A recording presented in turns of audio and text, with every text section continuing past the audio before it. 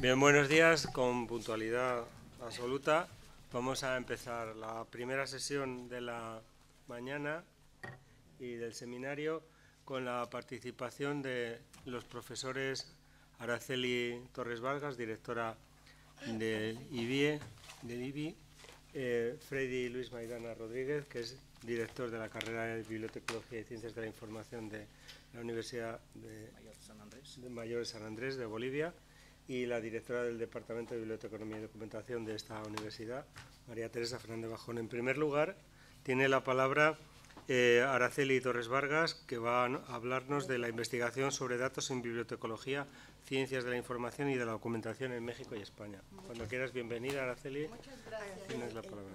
Sí. Eh, ¿Me ha dejado el, el, el USB? Necesitamos el ratón para que... Ahí, que se pase aquí. ¿No? Sí. Oh, le pasamos el teclado, que para eso... Ah, que tiene, que tiene ahí ella. Ahí está.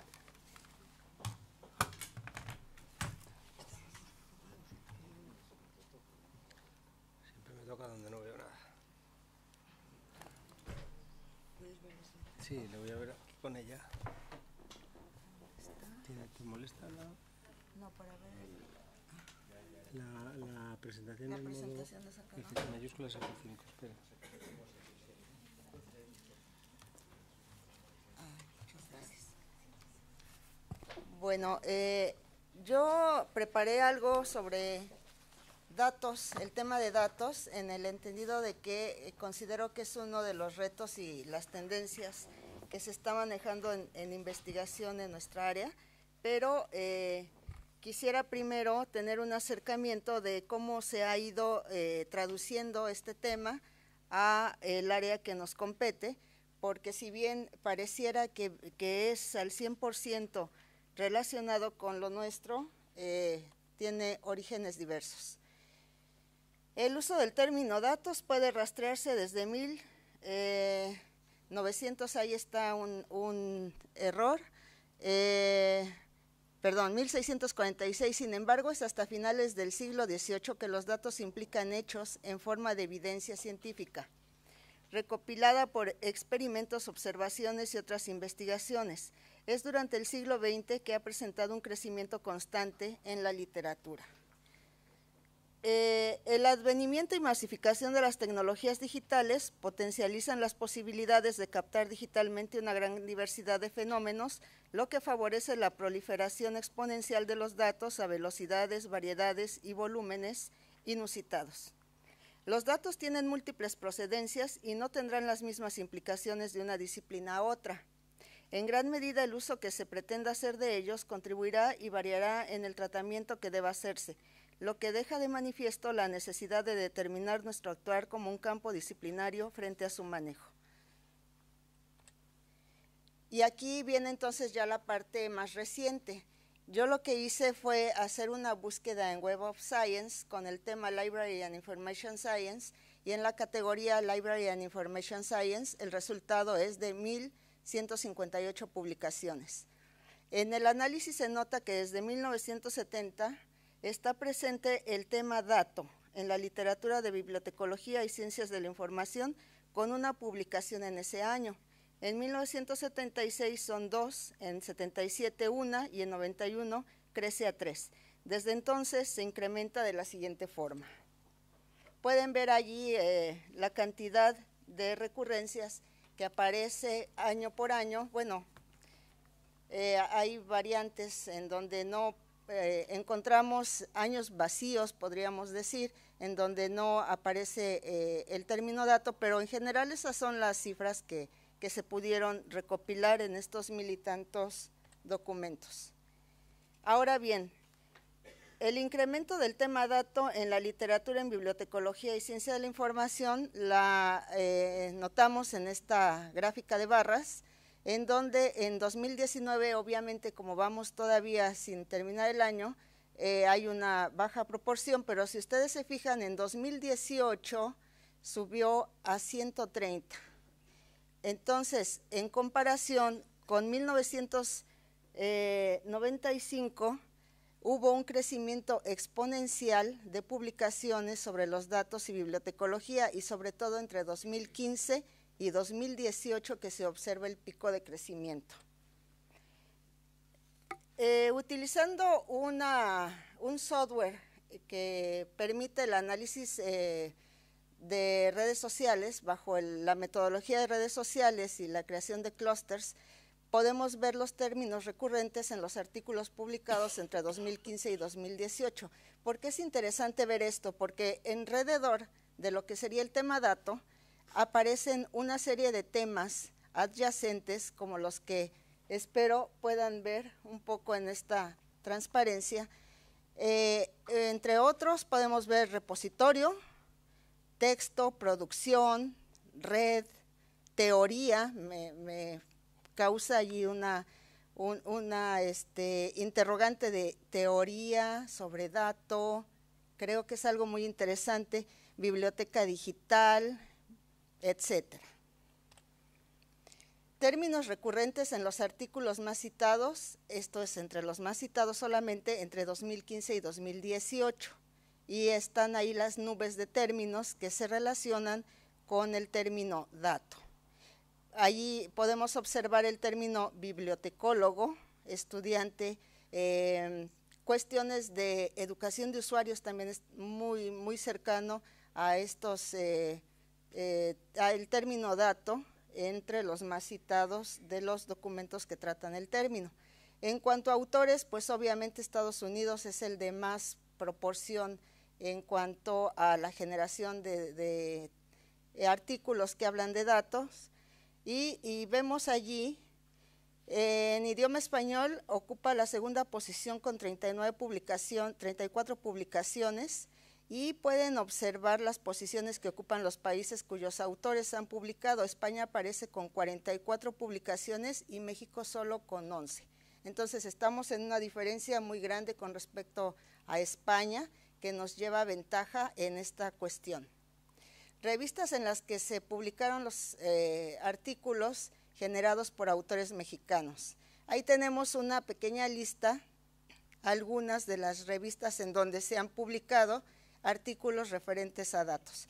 Eh, está la revista Investigación Bibliotecológica del Instituto de Investigaciones Bibliotecológicas y de la Información y esta información, perspectivas bibliotecológicas y distinciones interdisciplinarias, que es un capítulo del libro que se eh, generó recientemente. Revistas en las que publicaron los autores españoles, pues allí pueden observar que el profesional de la información es una de las revistas que van al frente con 11 artículos referentes a datos y pueden observar el número que corresponde a cada una de las demás revistas en donde han publicado autores españoles.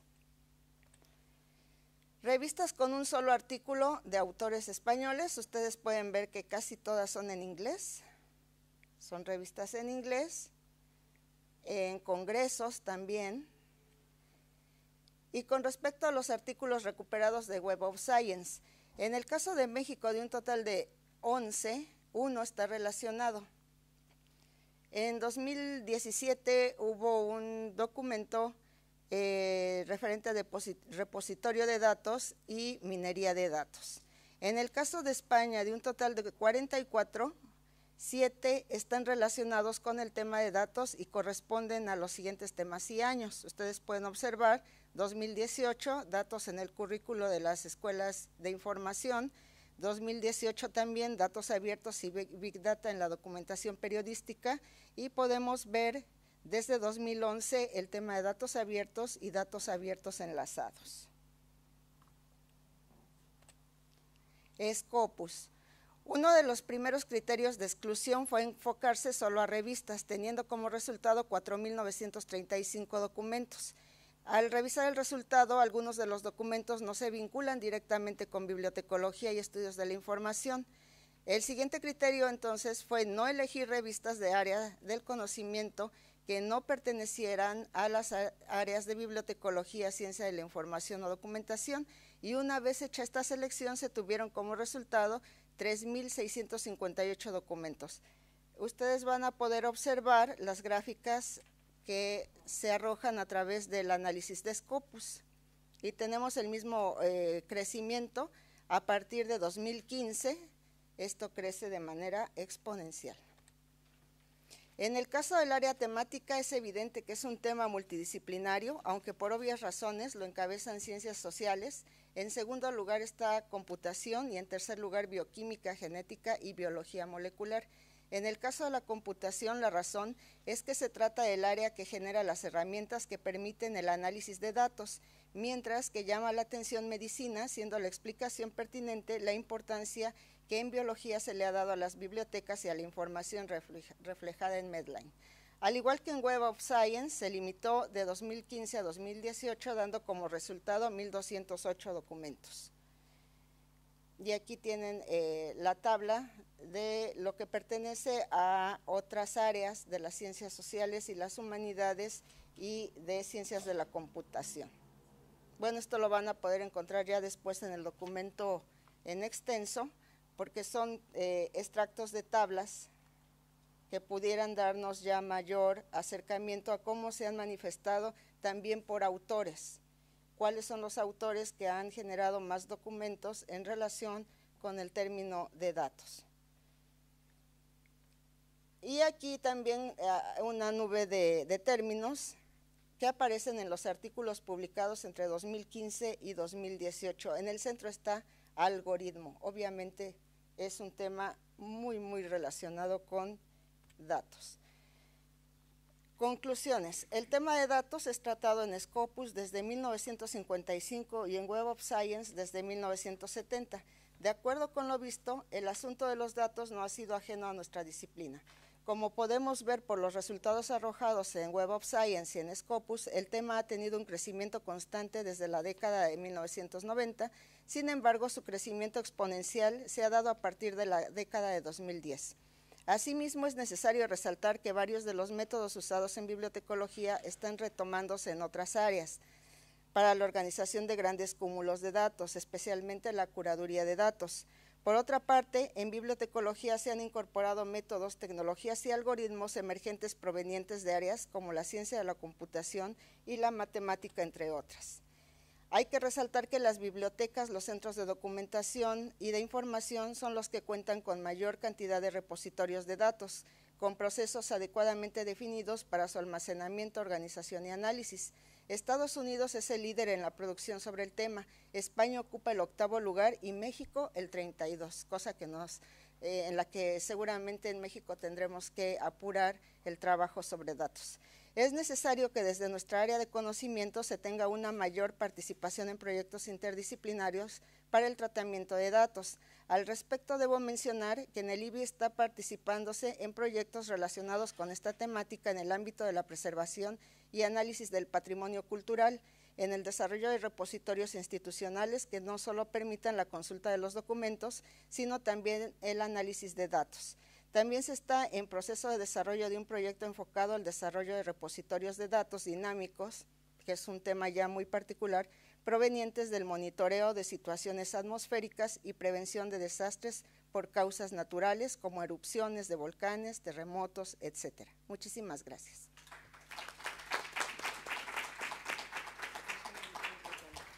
Muchas gracias, doctora Torres. A continuación, y de acuerdo con el programa, va a intervenir la doctora María Teresa Fernández Bajón, directora del departamento de, aquí de la Complutense, con el título de su intervención Red Iberoamericana de Preservación Digital de Archivos Sonoros y Audiovisuales. Maite, cuando quieres. Buenos días de nuevo. Gracias, eh, profesor Fernando Ramos, por darme la palabra. Y como bien ha indicado el profesor, eh, voy a exponer eh, la Red Iberoamericana de Preservación Digital de Archivos Sonoros y Audiovisuales, RIDASA, en una ponencia preparada, presentada también por la doctora Perla Olivia Rodríguez Reséndiz del Instituto de Investigaciones mm, Bibliotecológicas y de la Información un proyecto conjunto entre distintos grupos de investigación, un fruto, una consecuencia más de esas colaboraciones que estamos teniendo con la, la UNAM. Bien, paso a explicar en qué consiste esta, esta red iberoamericana de preservación digital de archivos sonoros y audiovisuales. RIDASA es un proyecto de investigación en red basado en la colaboración de grupos de investigación de países iberoamericanos. Esta iniciativa de investigación, auspiciada por el Programa Iberoamericano de Ciencia y Tecnología para el Desarrollo, CITED, tendrá una duración de cuatro años, iniciándose en el presente 2019 y concluirá en el año 2022. Cuenta con la participación de grupos de investigación de la Universidad, como podemos ver en la pantalla, de la Universidad Complutense de Madrid, el grupo de investigación eh, Politecon, la Universidad de la República de Uruguay, la Universidad Andina de Ecuador, la Universidad San Martín de Porres de Perú, la Universidad de Chile, la Universidad de Bahía en Brasil, Radio y Televisión Nacional en Colombia y la empresa AVP. Esta red está coordinada por la Universidad Nacional de México. Como decía anteriormente, España está representada en esta, en esta red a través del grupo Politecon. La creación de una red iberoamericana para la preservación digital de archivos sonoros y audiovisuales es una iniciativa e innovadora e integradora no existen precedentes de esfuerzos en materia de investigación que reúnan y vinculen a investigadores del área de conocimiento de documentación, archivonomía, bibliotecología y ciencias de la información con profesionales de los archivos sonoros y audiovisuales para identificar problemas y buscar soluciones en torno a la preservación digital de este tipo de documentos. Vamos a pasar aquí. La preservación digital efectiva y sustentable parece ser un objeto inalcanzable para muchas instituciones de la memoria sonora y audiovisual. Subsisten colecciones en soportes analógicos que no han podido ser digitalizados.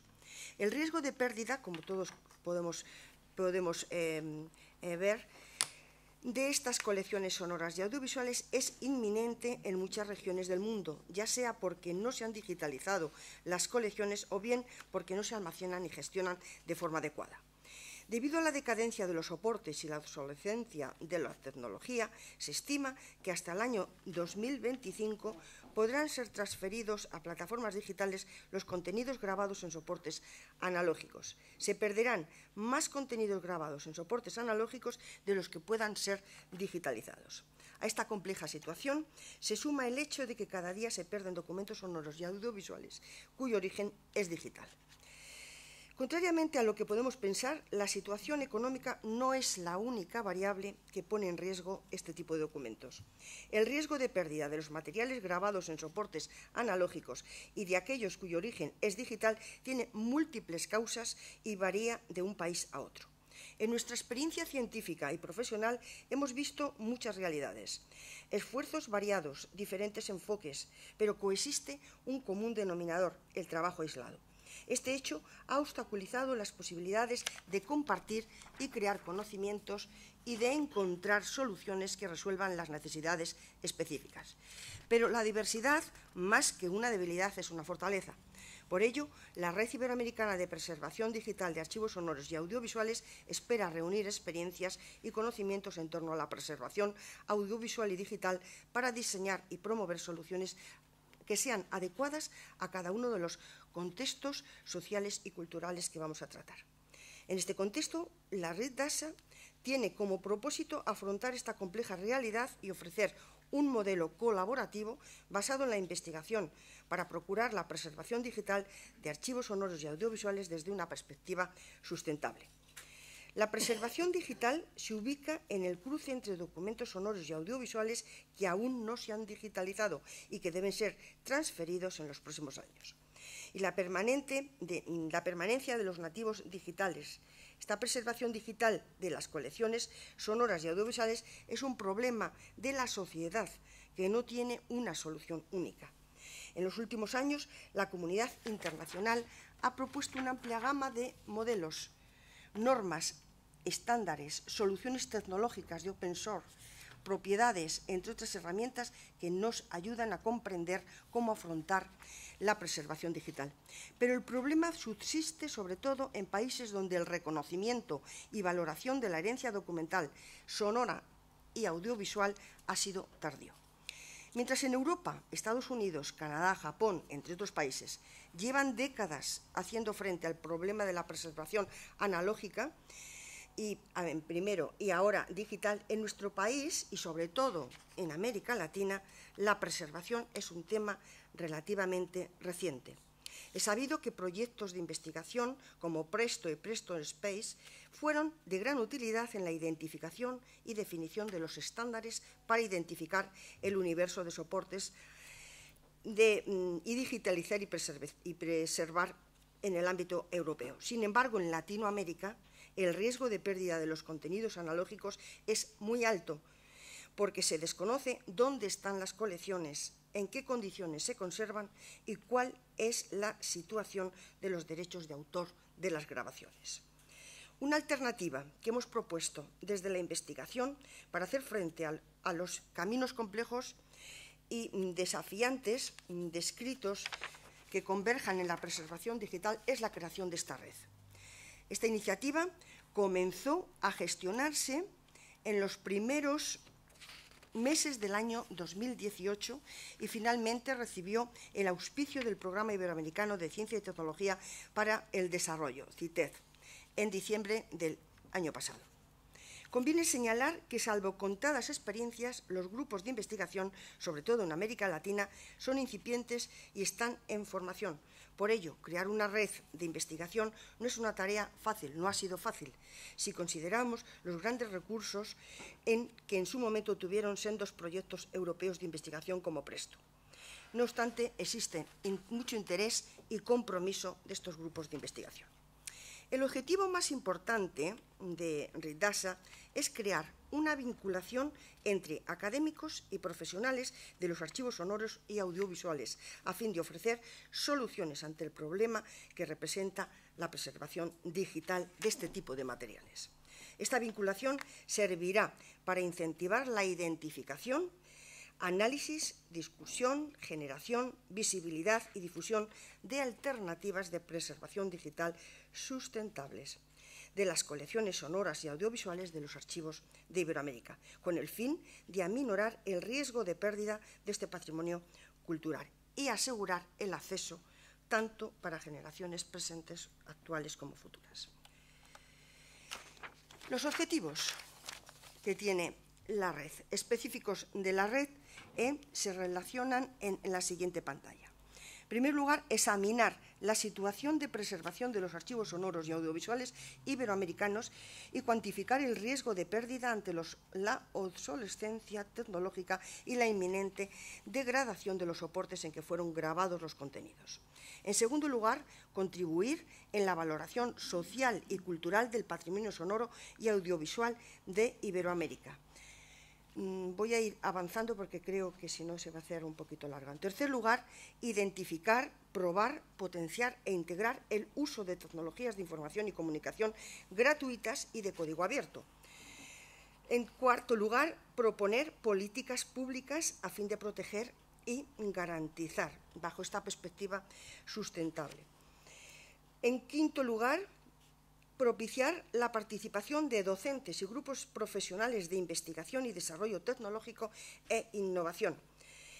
y por último, potenciar la creación de consorcios nacionales u organizaciones de preservación digital para archivos sonoros y audiovisuales. Es decir, se busca empoderar a los grupos de investigación en el conocimiento y uso de herramientas de open source para la preservación digital. Tenemos un plan de trabajo muy acotado para el periodo que dura la investigación. Este primer año haremos un diagnóstico eh, de los archivos sonoros y audiovisuales en Iberoamérica. Queremos conocer cuáles son y dónde están ubicados las bibliotecas, archivos, fondos, emisoras de radio y televisión, instituciones públicas, entre otras, que resguarden colecciones sonoras y audiovisuales. Una vez identificados todos estos, archivos, llevaremos a cabo, queremos dar visibilidad a través de la creación de un observatorio de archivos sonoros y audiovisuales. Este archivo, este perdón, observatorio será creado con herramientas de geolocalización gracias al apoyo del Instituto de Geografía de la UNAM. Por lo tanto, como parte de la metodología para la creación del observatorio, el primer paso será el de identificar todos estos, dónde están y cómo están todos estos fondos. Los grupos de investigación de trabajo en la identificación de estas instituciones eh, llevarán a cabo, eh, estamos llevando ya a cabo, los datos eh, que luego se trasladarán para generar el observatorio. Con esta herramienta, la idea es que los investigadores obtengan información que se incorpore en el informe iberoamericano de la preservación digital de archivos sonoros y audiovisuales que se presentará finalmente en el año 2020, 2020. Es una información que eh, incide o que eh, tiene un objeto eh, prioritario que es atacar el riesgo de pérdida del patrimonio. De ahí la relevancia de poder identificar en esta etapa del proyecto todas estas instituciones para resguardar la memoria tener toda la información científica para continuar en, este, en esta creación del observatorio. Este año eh, decíamos que aparte de llevar a cabo, o que ya estamos llevando a cabo, el registro de estos archivos a través de esta ficha eh, que estamos eh, intentando normalizar para todos los grupos de investigación, decir que este año también llevaremos a cabo el tercer Congreso Internacional de Archivos Digitales, Forjando el Futuro para la Preservación Digital de Archivos Sonoros y Audiovisuales, el tercer, la tercera edición que se celebrará del 4 al 8 de, de noviembre y que están ustedes cordialmente invitados. Además, como parte del trabajo que este año estamos organizando, se llevará a cabo un, programa de seis webinars en español sobre temas relacionados con la preservación digital. Participan aquí investigadores y expertos en archivos sonoros y audiovisuales y van a ser un resultado del esfuerzo de la colaboración de todos estos grupos de investigación con profesionales. También estamos abiertos al contacto con distintos eh, ámbitos eh, y eh, eh, instituciones, como es el caso de la Asociación Internacional de Archivos Sonoros y Audiovisuales, que pasará a formar parte de, este, esta red. Mm, en los próximos años intentaremos construir un espacio común iberoamericano basado en toda esta investigación que llevaremos a cabo por parte de la red. Muchas gracias por su atención.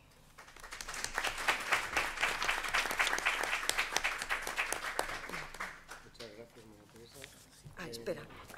Por último, el tercero de nuestros participantes en la mesa, Freddy Luis Maidana, va a hablar de la tendencia en la bibliotecología boliviana. Freddy, Bien, muchas, muchas gracias. Eh, Ahí está, ¿no? Sí, sí, aparece. En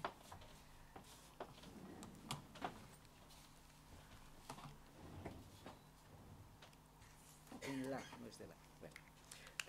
Muy buenos días tengan todos ustedes. Eh, de principio muy contento de estar en, Madrid, en España, y agradecido además con la doctora María Teresa Fernández Bajón, que es directora del Departamento de Bibliotecología y Documentación de esta prestigiosa universidad, que nos ha permitido, que nos permite estar eh, en, este, en, este, en este momento, en esta universidad, dando a conocer algunos aspectos muy relacionados con nuestra actividad académica. Eh, eh, esta oportunidad no podía ser mejor para dar a conocer los avances de investigación sobre las influencias que ha recibido nuestra disciplina bibliotecológica eh, de parte de distintos pensadores latinoamericanos, europeos, que ha dado lugar a la formación de una, llamémoslo, de una dinámica diferente eh, y a ratos muy progresista y en otras conservadora en el desarrollo de nuestra disciplina eh, bibliotecológica en, la, en Bolivia. quiero empezar manifestando que nuestra carrera ha sido fundada el 7 de diciembre de 1970, es decir, estamos a 48 años de vida, pero sin embargo, eh, si bien en los inicios de 1970 surge una fuerte influencia de países latinoamericanos, también en la, misma época, la época del 80, también hay una etapa de conservadurismo. Y creo que eso puede reflejarse en las dinámicas de la propia Latinoamérica relacionados con bibliotecología. Eh, ¿Cómo hemos hecho este análisis de estas tendencias que se van mostrando en nuestro medio? En gran medida es a través de la literatura, es decir, la producción bibliográfica que llega a Bolivia. Eso no significa que no se hayan desarrollado mayores eh, investigaciones y se hayan sido publicadas, sino la que llega a Bolivia y, un poco que va a dar un lugar, una imagen, un rostro de lo que es nuestra carrera en la actualidad. Eh, dentro de esa literatura que nosotros hemos recibido, vamos a hacer simplemente como un inventario, llamémoslo así, ¿ya? encontramos, por ejemplo, la presencia de Juan Vicente de la Llave, es decir, de un personaje, un, eh, intelectual que eh, escribe el Manual del Catálogo Diccionario, 1942, y el libro Cómo organizar bibliotecas, que es de ese mismo año, que estos documentos, estos libros han sido publicados en México. Eh, y si nos damos cuenta, hay una fuerte tendencia a la organización de la biblioteca y no a tanto al estudio netamente de la disciplina, sino es decir, cómo organizamos biblioteca. Y esa tendencia va a seguir con mucha fuerza durante mucho tiempo. Eh, después tenemos eh, a Javier Lazo de la Vega, que es otro español, que en gran medida escribe la clasificación decimal, que es una traducción abreviada eh, utilizable en bibliotecas hasta 500.000 volúmenes. Y el Tratado de Biblioteconomía, que es otro de los libros que llega a Bolivia y va a dar en gran medida influir en los estudiosos de, nuestra, de, nuestra, de, nuestra, de nuestro país. Argentina es otro de los países importantes que de alguna manera reflejan eh, y dan impulso a la organización de las bibliotecas y particularmente en Bolivia. Ahí podemos encontrar a Carlos Víctor Pena, Carlos Víctor Pena, que conjuntamente a Augusto Raúl Cortázar, eh, y estos dos personajes que llegan a Bolivia a organizar la Biblioteca Municipal de La Paz eh, durante un periodo de diciembre de 1944 a marzo de 1945, donde realizan particularmente la estructuración interna de esta biblioteca municipal, que es el referente además de, la, de las bibliotecas en toda Bolivia, Ah, trabajan en el procesamiento técnico, en la dotación de instrumentos de trabajo, capacitación del personal y plantean las bases para la cooperación interbibliotecaria y la compilación de la bibliografía nacional. Eh, Víctor Pena siguió, ah, influyendo eh, en, Bolivia y en Latinoamérica eh, a través del libro Manual de Catalogación y Clasificación del Libro, 1964, que estaba destinado a estudiantes y catalogadores que trabajaban en la redacción de fichas, ordenación, publicación periódicas. Em, imagínense, ahí tenía que ver con el tema técnico netamente. Posteriormente tenemos la presencia de otro de los personajes argentinos, que, fue, Domingo, que, eh, Bonocore, que a través de los libros, de los libros Elementos de Bibliotecología 1953, Diccionario de Bibliotecología 1963 y El Mundo del Libro, eh, son textos que de alguna manera posesionan la disciplina en nuestro medio. Eh, el diccionario ha sido muy particular y sigue siendo motivo de estudio, de consulta, porque yo creo que es una forma de recuperar un tipo de pensamiento. Eh, después tenemos a, perdón, Domingo Bonocore, y están los tres, a Josefa Emilia Sabor, que a través del libro Fuentes de la Información, y lo que llega a Bolivia es la, edición, la segunda edición de 1967, otorga un panorama histórico y realiza estudios sobre las fuentes de referencia. Aún se constituye en una de las obras sustanciales sobre los repertorios bibliográficos, de, repertorios de referencia.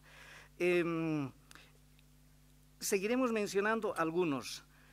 Eh, en el caso de Cuba, que llega eh, a través del libro, eh, con, los textos de Jorge Aguayo y Carmen Rovira, con la lista de encabezamientos 1967, que ha sido publicado por la OEA, y este se constituye en el instrumento más importante para la organización de bibliotecas en Bolivia.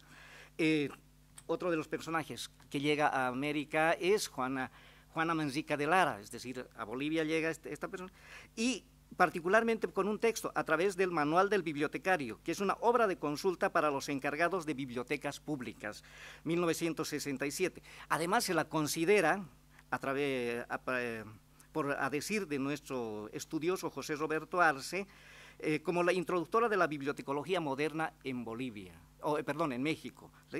Y también podemos encontrar a otra de las influyentes personas que llegan a, Bolivia, es la costarricense de Yanira Sequeira. Eh, con su libro La bibliotecología como ciencia. Es el único texto que llega, pero sin embargo es sustancial e influye en el pensamiento nuestro, y creo que es un pensamiento latinoamericano. Eh, la bibliotecología norteamericana es importante también en este proceso de influencia, eh, que sentó la presencia en Bolivia a través de Gastón Litón. Que trabajó en Medellín, Colombia y otras universidades latinoamericanas. Y se presentan con la colección de textos eh, eh, breviarios del bibliotecario con títulos como, por ejemplo, Arte y Ciencia del Bibliotecario, la documentación, cómo organizar el actor, administración de bibliotecas, clasificación de catálogos. Es un texto que también influye en este periodo. Estamos hablando antes de 1970. Em, pero en este proceso de influencias, institucionalmente, en este, en este periodo, eh, Norteamérica introduce a América Latina las reglas de catalogación angloamericanas. Eh, publicado en 1970, publicado en Chicago por la ALA y traducido por Hortensia Aguayo y Jorge Aguayo. Los sistemas de clasificación Dewey y la, eh, la Library Congress, incorporando aspectos doctrinales en la administración y los servicios bibliotecarios. Al respecto, José Roberto Arce dice lo siguiente, eh, en 1948 se dio un paso decisivo en esta influencia, cuando posiblemente, como efecto de la reunión panamericana de bibliotecarios efectuadas en Washington, se dictó en Bolivia la ley que oficializaba como sistemas de clasificación usable en las bibliotecas bolivianas la clasificación decimal universal, la clasificación decimal Dewey y la, biblioteca, y la de la Biblioteca del Congreso. Em, este movimiento en gran medida estaba estructurado por la Organización de Estados Americanos, que fue el motor que apoyó el desarrollo de la disciplina y la organización de las bibliotecas en Bolivia. Ahora, obras importantes que podemos mencionarlas así rápidamente de este periodo anterior al 1970 es la introducción de las prácticas bibliotecarias en los Estados Unidos de Marian Karsnovi, las reglas de la catalogación descriptiva de la Library Congress, el sistema de clasificación Dewey, eh, que llega a Bolivia eh, en 1970, si no me equivoco es la edición 19, las reglas de la catalogación angloamericana es 1970 y las reglas para la ordenación alfabética de la ALA de 1971. Pero también llega a Bolivia la influencia de eh, ideológica, todavía tengo tiempo, ¿no? Sí, como, nosotros lo llamamos, la disputa ideológica del capitalismo y, el comunismo. También estuvo presente en la bibliotecología. La perspectiva soviética tuvo su ingreso, quizás un poco tarde, a través de textos cubanos que tratan sobre la organización de las bibliotecas. La mayor influencia que recibió Bolivia fue del ideólogo Mikhailov, a través del libro Fundamentos de la Informática. Eh, que es un texto que ha sido leído por nuestros estudiosos. Lo que pasa es que nuestro profesor Arce, que es el, más influyente dentro de, nuestro país, eh, en gran medida era comunista, y había un grupo de comunistas y comenzaron a estudiar eh, Mikhailov, que, fue una tendencia muy interesante, un poco más teórica, más reflexiva. Em, y a partir de eso se comenzaron a dar la producción boliviana. Ahí podemos ver a nuestros intelectuales eh, José Roberto Arce, que, Ramiro que fue eh, en la época de 1982 al 85, una época hiperinflacionaria, llamémoslo, eh, que fue ministro de Trabajo, José Roberto Arce, un intelectual abogado, igual hijo de uno de los, de, los políticos más importantes del Partido de la, Izquierda Revolucionaria, José Arce, y Fernando Arteaga, que ya tiene una formación más profesional, pero también muy influido por estas corrientes de la OEA, con una mirada muy técnica sobre la bibliotecología. Entonces, es un bagaje de cosas que vamos viendo. Y elementos de la biblioteconomía, que también son influencias que se van, apareciendo en este periodo. Eh, ahora, la influencia esta fue de alguna manera de la literatura, pero también podemos ver en la, la enseñanza y la capacitación, que fue otro de los elementos importantes para el desarrollo de nuestra disciplina.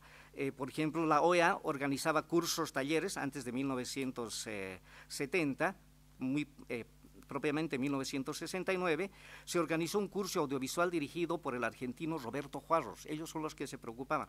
Pero estaban auspiciados por la UNESCO todos estos cursos y de alguna manera sienta las bases de lo que va a ser nuestra carrera, nuestra disciplina.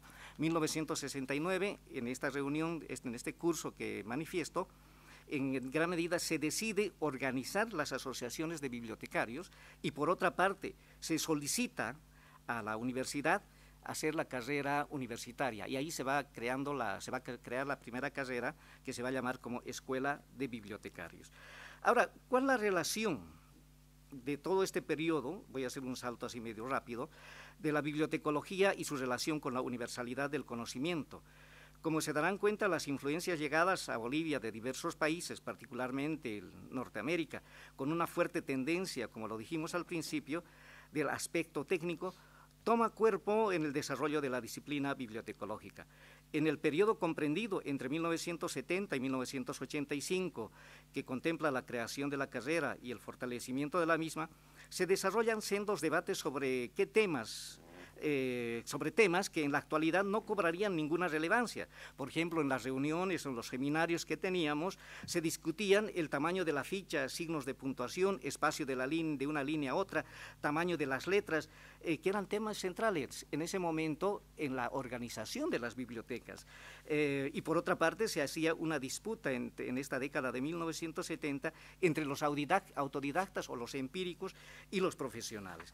Bien, eh, y después llega la escuela española, llamémoslo así, bueno, aquí está Roberto Juarros, y la escuela española que en, el periodo de 1980 al 86, donde aparecen Nuria Amat Noguera, Luis Orera Orera, Emilia Curras, eh, José Pérez Álvarez Osorio, Elías Sanz Casados, que influye sobre el desarrollo de las... De, los estudios de usuarios de manera cuantitativa, ¿ya? y José López Yepes, que para nosotros es central para la introducción de la bibliotecología en el ámbito de la documentación en Bolivia. Es decir, por eso a nosotros, José López Lépez, como ustedes van a poder ver, nosotros le hicimos un homenaje, porque en gran medida lo consideramos como el maestro de la documentación en Bolivia. ¿sí?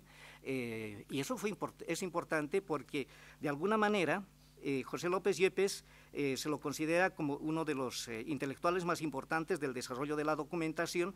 La influencia se patentiza en la postura que asumen los estudiantes y profesionales de la bibliotecología, que comienzan a diferenciarse entre documentalistas y bibliotecarios. Los primeros trabajan con informes científicos y los segundos resguardando libros. ¿no? Es una, una forma de diferenciar. Y, interesantes, las, los centros de documentación están ligadas con las ONGs, es decir, 1985-86, eh, Bolivia sale de un periodo hiperinflacionario y comienza a surgir el apoyo de las ONGs en toda nuestra, nuestro país. Y junto con ellos aparecen los centros de documentación realizando, realizando apoyo e investigación y bueno, los mayores organizadores son los documentalistas. Entonces, en esa época nadie quería ser bibliotecario, querían ser todos documentalistas, ¿no? Em, pero después, contemporáneamente, van a aparecer dos personajes que para nosotros es central, eh, que es eh, el tema de eh, Juan José Calva, y a través de Juan José Calva, que estudia el tema de usuarios, lo tenemos a Isabel Villaseñor, es decir, que es una forma de introducirle un tipo de pensamiento también. Ahora, Juan José, para muchos dirán, bueno, ¿esto será verdad, será mentira? Sí, para nosotros es importante Juan José Calva en el estudio de usuarios.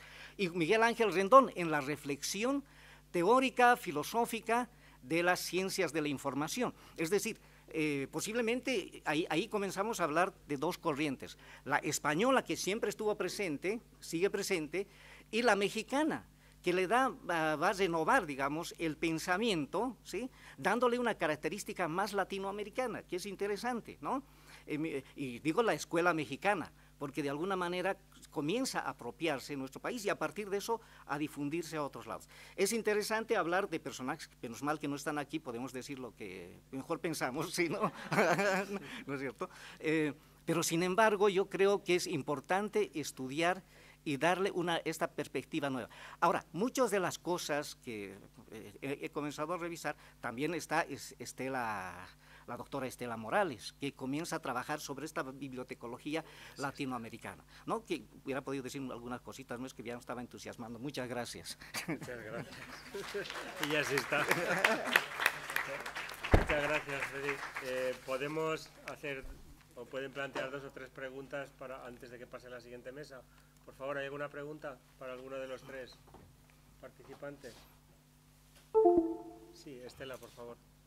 La doctora Estela Morales.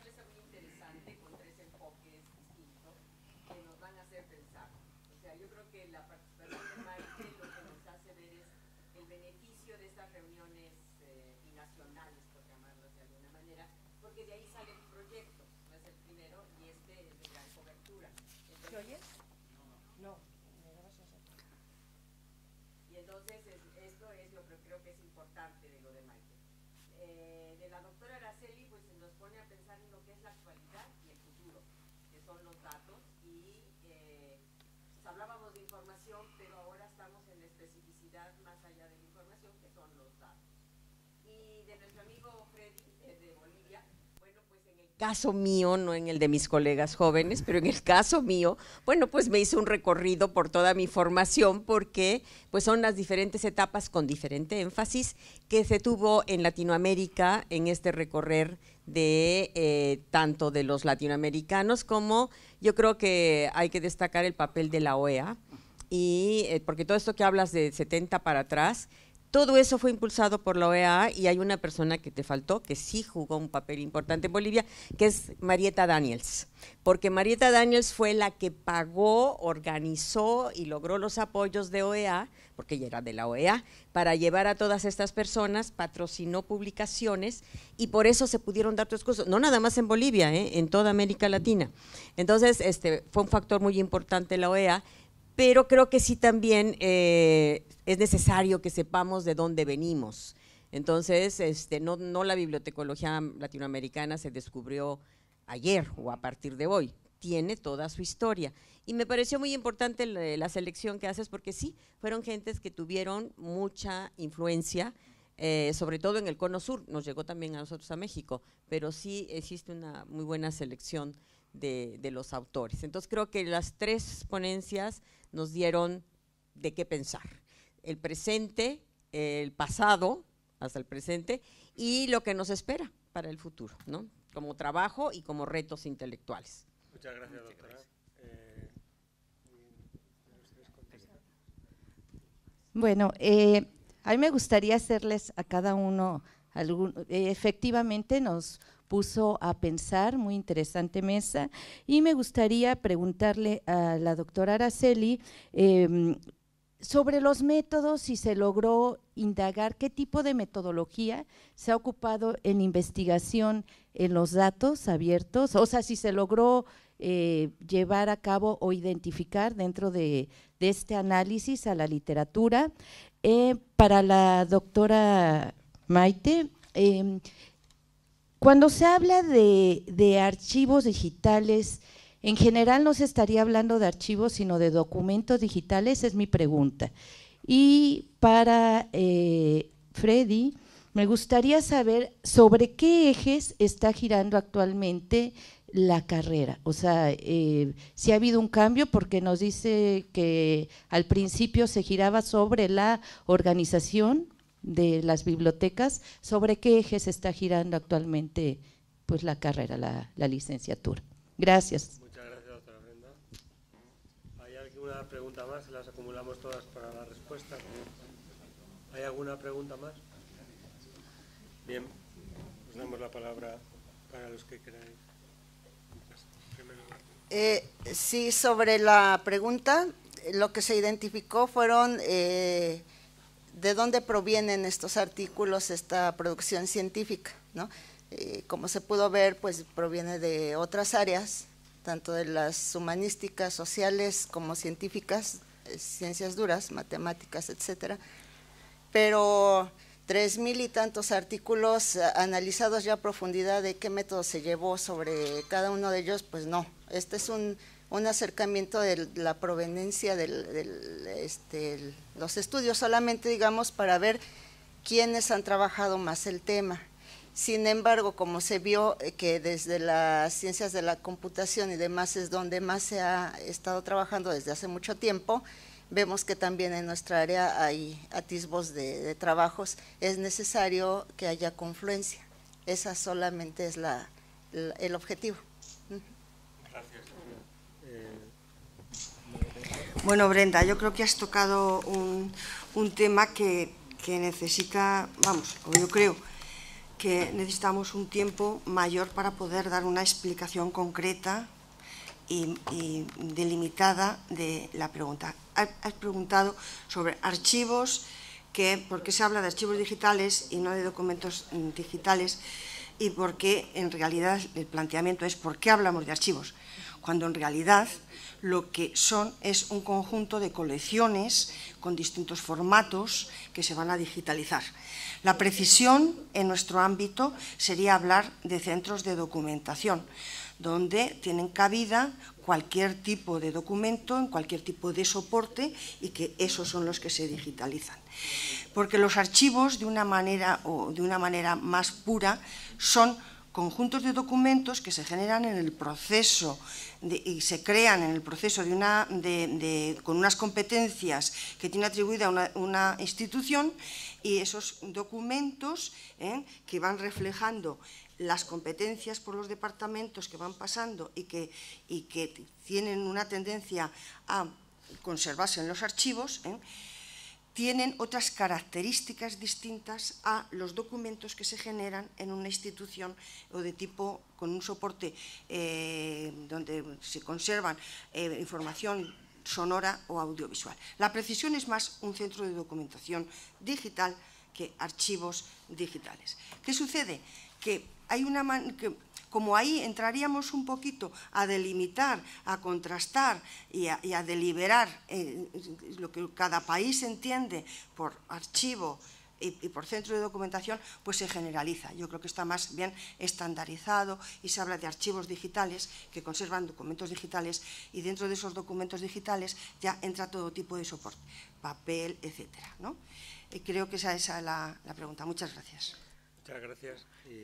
Y por favor. Em, creo, creo que es importante cuando nosotros hicimos una revisión de la situación en, la que nos encontrábamos, nos dimos, nos dimos cuenta que nos habíamos quedado en la década del 70 con esta influencia muy fuerte del tecnicismo, de la organización de bibliotecas y de pronto había que renovar. Y ahí hay que agradecerle la, la presencia colaboradora de José López y alguna otra gente, eh, últimamente con la Universidad Complutense, eh, con la doctora Teresa Bajón, eh, Villaseñor, la doctora Villaseñor, que nos permitieron acercarnos a una nueva forma de pensamiento.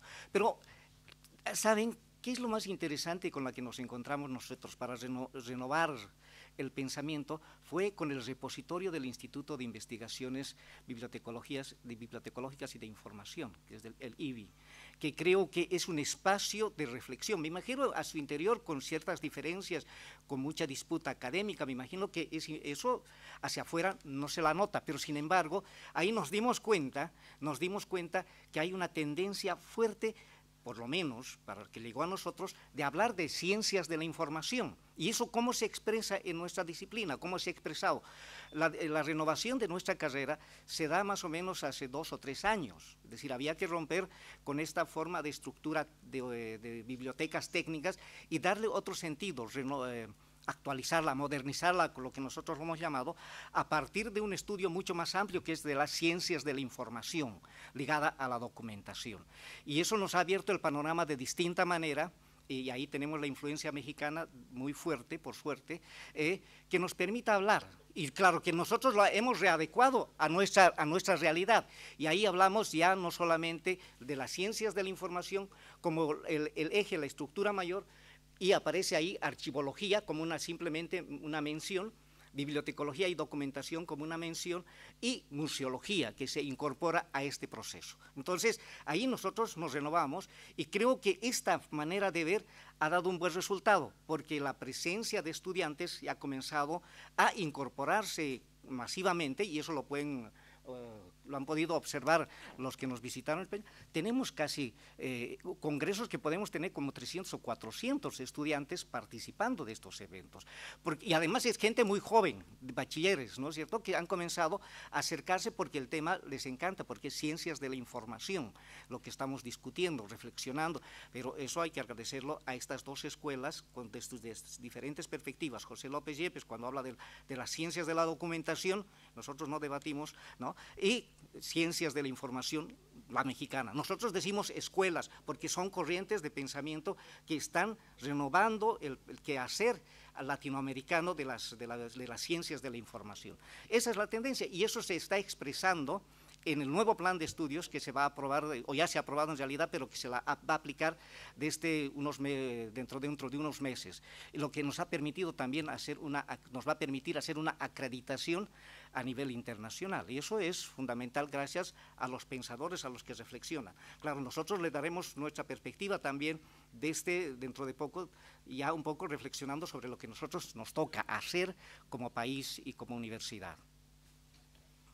Muy bien, pues muchas gracias. Con esto damos por finalizada nuestra mesa y damos paso a la siguiente, coordinada por la profesora Gracias.